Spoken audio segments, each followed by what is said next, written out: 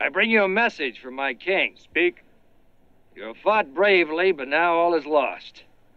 You can still save yourself and your men. My king will give you safe conduct home if you surrender. Tell your king that we who fought together will die together. Will somebody please shut him up? Our great king grants you life. You have no hope. In a few minutes, you shall all be dead. Tell your king that we who die for the glory of Pharaoh will live forever. Wait, wait, wait, wait, wait. Can we just discuss this a, a moment? Think of all the, um, the wonderful things we'll be giving up. Um, sunsets, flowers, the love of a good woman. Um, breathing. I've always been particularly fond of breathing. Finish him with arrows!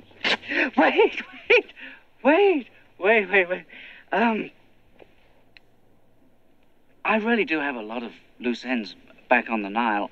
Could we possibly get together another day? Uh, oh, listen.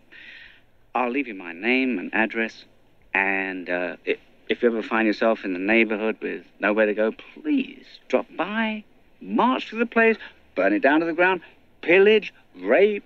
Finish him!